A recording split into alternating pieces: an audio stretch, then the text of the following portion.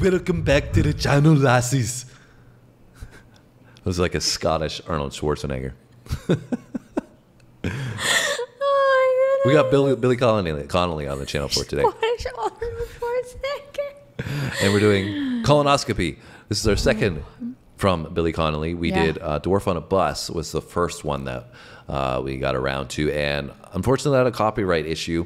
That's why we had to do an overlay on it. Yeah. That's why it wasn't up for a long time. We had done it a long time ago and didn't get posted for a while after we had completed it because uh, the copyright stuff. So I don't know if we're gonna have an overlay on this, guys. If it is, sorry, apologies, but sometimes we got to do that, and that's why it's taken us so long to come back to Billy. But we did find him funny. Dwarf Yeah, on a he Bus was was, a funny. funny story.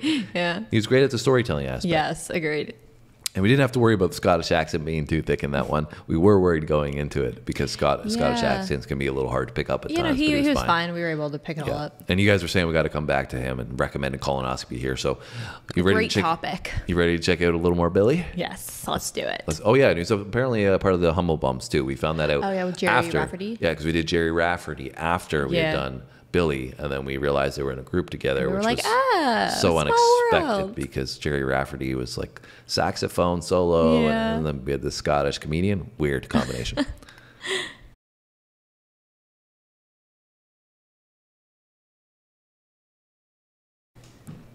Just recently, I had a colonoscopy where they shove a television camera up your ass. And before they do, you see, there's a terrible thing happens to men after 50. Your doctor loses all interest in your testicles and takes an overwhelming interest in your asshole. you begin to forget what he looks like. He's always round here somewhere.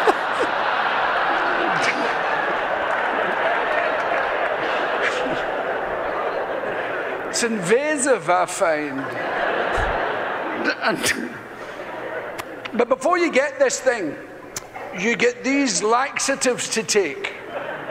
Now, these aren't your high fiber, natural product made from tea tree and badger's pubic hair. you know, you know those adverts you get on television? Are you feeling listless? Have you lost interest in the children? You see a woman in the nursery going, God, when will this end? You're probably constipated. what you need's a good shit. Clear your head. Go to a friendly chemist and ask for shit easy. well, it's not that. This is like NASA. There isn't a natural thing within a mile of this. And you take them all at once and, and, uh, and be quite near a bathroom. So I took them, and Pam and I are watching the telly, you know. And, I and she said, Have you taken those? She treats me like she's my mother, you know. Have you taken those tablets? I said, I did, yes. Is, is anything happening? I said, What, you think I'm going to shit myself while I'm. Are, are you panicking? I said, I've, I felt a few distinct rumblings, but nothing. nothing to write home about. You know. a few distinct rumblings. Rumblings. Great way to phrase Nothing to that write one. home about, though. This is a little bit different the second time around from Billy. He's got more punchlines in this one because the last one they did, Dwarf on the Bus, we waited for like five minutes before he got to the end of the story, and there was a major punchline at it the was like you were just engaged in the story the whole time, but the joke was at the yeah, end. Yeah, this is much more fluent with jokes Yeah. throughout, which was what we're accustomed to. But also, Billy looks a little bit younger in this one. Yeah, so I also his style changed. Yeah, I also feel like although it is still storytelling, it's more conversational. It's almost Yeah. like he's trying to have. It sounds like he's having a conversation with the audience, and then with his. I think I'm assuming it's his wife, um, in the story, but there's still the story, opposed to it just be like him relating. Yeah, well, that's what I really have liked about Billy thus far in both videos that we've done. He's so relaxed, easygoing, Yes. and conversational about it. Yeah, yeah. It really adds this like disarming feel to his comedy. It Mm-hmm. Even though he's talking about colonoscopies and assholes. exactly, but it's just like you can't help but laugh by the way he delivers the stories and the jokes. Yeah. and you know, it's just sound, it seems like a guy that you'd want to hang out with and chill, and he would be the life of the party, just Yeah. telling jokes all throughout, and you For couldn't sure. stop laughing, right? So that's uh, what I the vibe I get, anyways, from Billy thus far. Have you taken those tablets? I said, I did, yes. Is, is anything happening? I said, What, you a- think I'm going to shit myself while I'm. A few distinct Are, are you rumblings. panicking?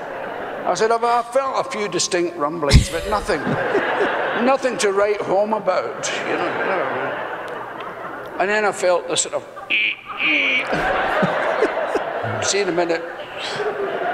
As I went to the bathroom, I'd hardly got the tweeds to my knees, and my arse was just on its way to the seat. You know that. You know that way it's it's like a hose that nobody's holding.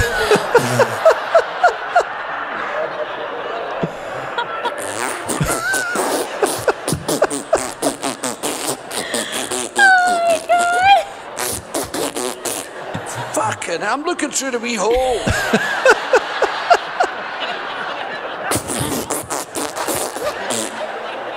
Jesus. And then it would stop for a sort of breather, you know. Your ass is hanging in tatters. you go, you got to stand up. I was in there for days. and eventually it calmed down, you know.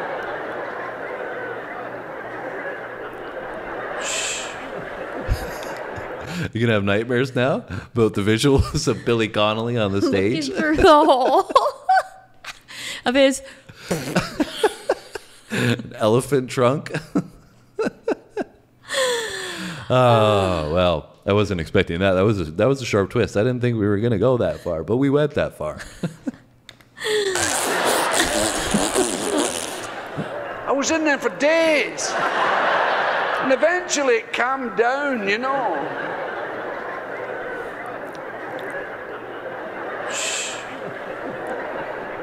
Gingerly, I made my way back to the TV. And about 20 minutes later, oh fuck, I'll not move. Now, this was the oily discharge. It's heart stopping. It doesn't go or anything remotely like it. This doesn't even touch the sides. It goes. it doesn't stop. Fucking hell. I'll be like a walnut when this is finished. Oh god. and your arse is burning. you have to put the toilet paper in the fridge. Holy macaroni. And that was Billy giving us some great visuals there. Oh my goodness, but his colonoscopy prep. yeah, it wasn't anything about colonoscopies. Just about prepping for the colonoscopy. it was just the experience of getting ready for the colonoscopy. And um, that's Not what sound very pleasant. that's what I have to look forward to.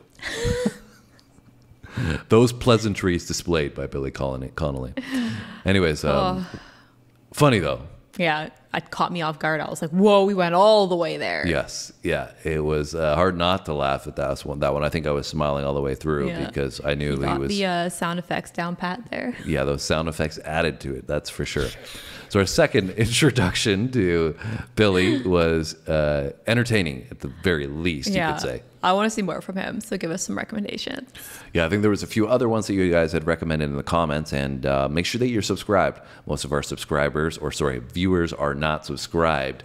Eighty-five percent, in fact, of our viewers are not subscribed. So you got to get on that subscription button, guys. Keep Come coming join back. our community. You keep viewing the, the videos. You might as well just hit the subscribe button and the notification bell so you don't miss anything. And uh, we got comedy, sports, music, and history on the channel, as well as some military-based stuff. So we're getting all different kinds of content Yeah.